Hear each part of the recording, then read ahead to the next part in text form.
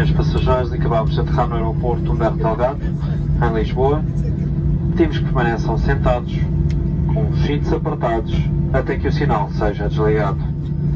Queiram, por favor, confirmar que levam com